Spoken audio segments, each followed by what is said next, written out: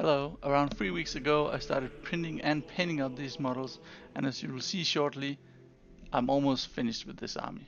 I do still miss painting up the steam tank and a few models, but I really needed a break from batch painting green and yellow, so I decided to keep a break from Empire for now. Anyway, before I get into the army showcase, I would love to hear your opinion on these miniatures.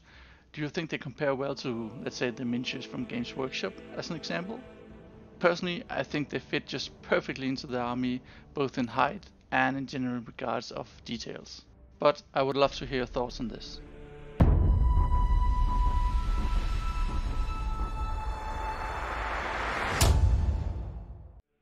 Alright, so I didn't actually film a lot of painting or anything because I thought the most important part to show was the end result and how these fares in regards of Games Workshop models I also have in the army. So let's just get to it. Alright, so first off I just had to show you this model without the rest of the group. It's a really, really awesome model and maybe the model reminds you of someone. She at least did for me, so I just had to paint her up. Anyway, this was the first unit that I painted up. These are the Empire Knights. Um, there's also options for printing on knights like these on Highland miniatures, but I just like the Games Workshop ones better. They are really bringing a lot of nostalgia for me. Not a lot of special with these. I took the shields from the spearmen and put onto these, and then some of the heads are from Bretonnia and not original Empire pieces. And here we have the flagellants. These are also painted up with a really bright scheme, still following the yellow and green th Stirlander theme. Normally, I guess I would paint these up in a more brownish theme, so to make them look even more poor and, you know, ragged, but I kind of just make it a challenge for myself in order to paint more bright uh, whenever I paint miniatures and not that grim dark that I used to.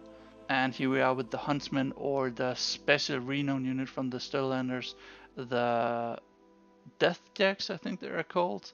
Uh, I actually just spotted that I actually missed one, so there's only 9 in there, but of course I painted up 10. Then we come to the militia units. Uh, I actually have a lot of militia from Games Workshop as well, and I also like those models, but I just really thought these models look great, so I wanted to try and print and paint up these, and as you can see I made even one more addition. It's an ogre from the Last Kingdom Miniatures, I think they're called which I just felt gave the unit a bit more edge to it, which I really like. Then here we have the artillery piece that I printed and painted up. If you in any way like this model, I highly recommend that you check out the other artillery models that Highland Miniatures have made up. I really think they are all looking great and I'm definitely going to print up more uh, of these artillery pieces because they just fit right in and was really fun to paint. Then here we have the crown centerpiece of this army, at least what I think, is the demigryphs. I can't really explain how much I love these demigryphs. I really think they look awesome and they basically took me no time at all to paint up. Uh, and I even think that even though I didn't use a lot of time painting these, they still look great. So really, really awesome unit. And maybe I'll even print up even more of these. Alright, that's it for these models that I've printed and painting up over the last three weeks.